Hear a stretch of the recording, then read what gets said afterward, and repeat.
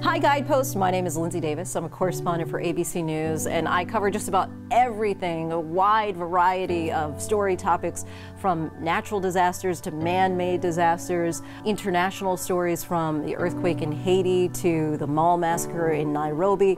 Uh, most recently I've been doing a lot of the Me Too movement uh, as well as race relations in our country and I'm also a mom and a wife. I've always been um, a really healthy person as far as not having any kind of uh, major medical concerns. And so going into pregnancy and delivering the baby, I was always just so focused on praying for the health of the child. And everything seemed to go really smoothly. As a matter of fact, like when we got there and the baby came right away, initially the doctor came in and said, you know, everything looks great and you're going to be able to go home within the next 24 hours. And then she left the room and about within a matter of minutes came back and it had a different tone, a different feel uh, entirely.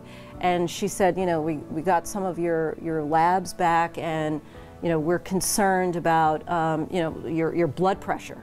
And um, we, you have something called preeclampsia. And so now I ended up staying in the hospital for a week. And during that time, um, they were giving me different kinds of medication and my blood pressure just wasn't responding to it. It wasn't going down. And so it was a really frustrating, defeating feeling for the first time in my life that I ever felt so uh, helpless. Um, and just unable to really properly care for my newborn child, my firstborn child and, and, only child. While I was in the hospital, the New York Times had published this story about white coat syndrome. And it was something that I was not familiar with, but the idea is that people can get, you know, kind of this elevated um, fear, anxiety when they're in a medical kind of situation as I was. I really need to be able to conquer this because whenever I hear those wheels coming uh, with the blood pressure monitor, it really gets me nervous. And so she said, you know what, uh, we're going to leave the monitor with you. We're going to let you take your blood pressure yourself. And if you can, you can do it as many times as you want. If you can get the numbers down, um, then we're going to let you go. I, I did it multiple times.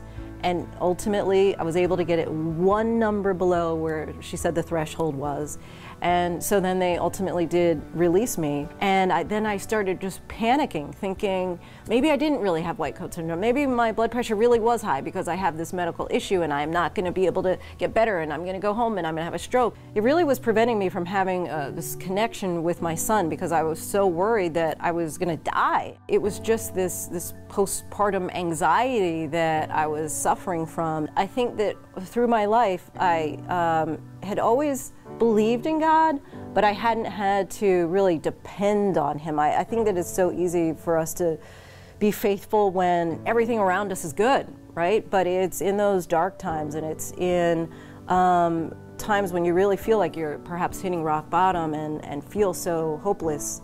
Um, that I think that your relationship with God goes to a different level. Um, I have this really well-worn one-year Bible.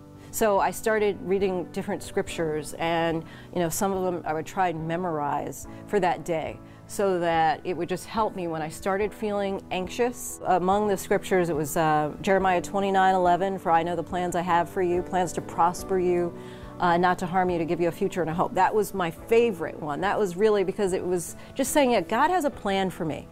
Um, and and it's not to harm me, and um, and I needed to just I needed that hope back, and the blood pressure started going down. And so um, I'm not sure, I would, I would, guess that it was maybe after about a two month period where it was really back to normal and I could say that I was myself again. Growing up as in my career of, of journalism, I always had different um, benchmarks of what I decided was going to be my, my goal for success, the measurement. And so I had said, by the time I'm 25, I want to be in a top 25 market. By the time I'm 30, I want to be at the network.